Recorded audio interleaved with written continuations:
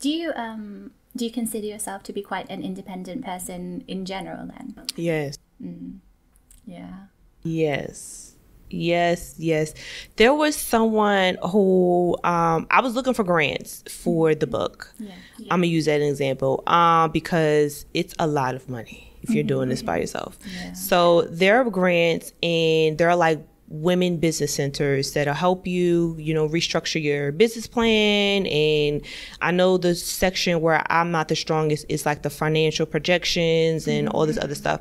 So they were taking forever to um yeah to help me it was like it was like going on three months and i had everything else done like all the other written part my startup fees were already there and all the other stuff but they were just taking forever. So i went about myself and paid a um my accountant who does the projections. I paid her to do it because i had a deadline to meet with this daggone grant because I I was tired of paying for things and I'm like I'm going to get this grant. Yeah. So yeah, I if you are interrupting what I'm trying to do, I'm going to go about myself every way I can to go get what I want to go get.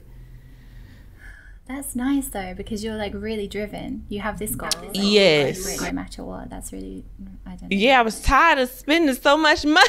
Yeah, well, yeah, that's a good motivator. yeah. Jeez, I was like, oh, let me get this grant. But yeah, I, I mean, the the business center have been helpful, but they were just kind of like dragging, and I'm just like, okay, like what's going on? Yeah. I don't know.